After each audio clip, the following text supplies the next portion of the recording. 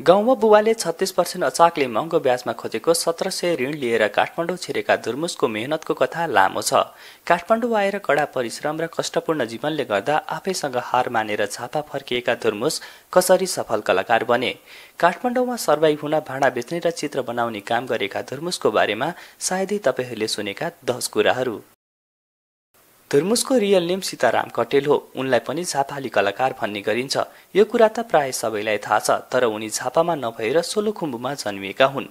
उनी आठ वर्षको हुँदा उनको परिवार झापा बसाइ सरेकाले उनलाई झापाली कलाकार भनिएको हो। यो कुरा इन्डस्ट्रीकै कमै मान्छेलाई मात्र थाहा छ।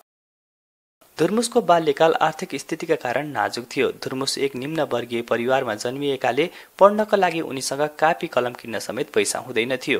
अरूको हलो जोत्ने र स्केच बनाउने काम गरेर उनले कापी कलमको जोहो गरेर पढेका हुन्। मेहनत गरेर पढेका धुर्मुस पढाइमा अब्बल थिए। उनी सानोमा अत्यन्तै सोझा थिए। दुःख र मेहनतलाई सानैदेखि देखेका धुर्मुसले एसएलसी फर्स्ट डिभिजनमा पास गरेका हुन्। त्यस्ताका फर्स्ट डिभिजनमा पास गर्नेको जिल्लाभर नै नाम चल्थ्यो। जस्ट पास हुँदा मात्र पनि पढाइमा अब्बल रहेको मानिन्थ्यो। एसएलसी गाउँमा सकेर उच्च शिक्षाका लागि धुर्मुस काठमाडौँ आए। बुबाले छत्तिस पर्सेन्ट अचाकले महँगो ब्याजमा खोजेको सत्र सय ऋण लिएर काठमाडौँ छिरेका धुर्मुसको सबै पैसा कोठा खोज्दा र सामान किन्दा सकियो। त्यसबेला उनले काठमाडौँमा सर्भाइभ हुन भाँडा बेच्ने र चित्र बनाउने काम गरेका थिए।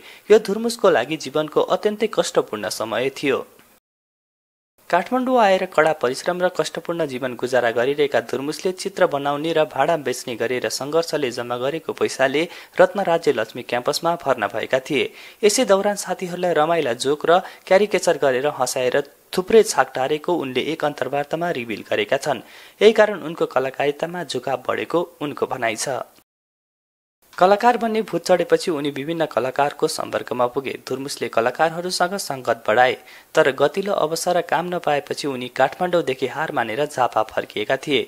सङ्घर्ष र मेहनत सानैदेखि भोगेका धुर्मुस सजिलै हार मान्ने खालका थिएनन् तर केही समय झापा बसेर उनी काठमाडौँको सङ्घर्ष मैदानमा फेरि होमिए।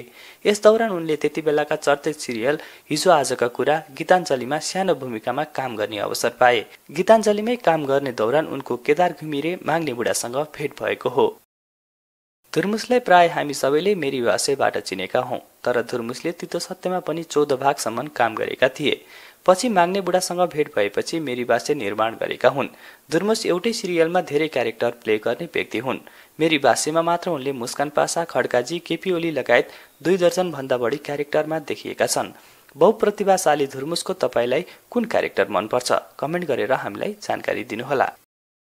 धुर्मुसको पहिरो सिरियल हिजो आजको कुरा हो। यसमा उनले सानो भूमिका पाएका थिए। धुर्मुसलाई औपचारिक रूपमा जितु नेपाल मुन्द्रेले कलाकारितामा ल्याएका हुन्। यही कारण आज पनि धुर्मुस र मुन्द्रेको दोस्ती राम्रो छ। तर पर्दा र स्टेज प्रोग्राममा भने धुर्मुस र माग्नेको जोडी खुब जम्यो। मेरी बासैको दौरान धुर्मुसको सुन्तलीसँग भेट भएको हो। भेटको धेरै पछि उनीहरूको प्रेम विवाह भएको हो। धुर्मुस र माग्ने बुढा स्टेजको एकदम लोकप्रिय जोडी हो उनीहरू मेरी भाषा एकदम चलिरहेको बेला पैसाको कारण विवाद बढेपछि छुटिएका हुन्। त्यसपछि माग्ने बुढा ठुलो पर्दातिर लागे भने धुर्मुस समाज सेवातर्फ लागेका हुन्। समाज सेवामै लागे पनि धुर्मुस फ्याट्ट फुट्ट चलचित्रमा देखि नै रहेका छन्।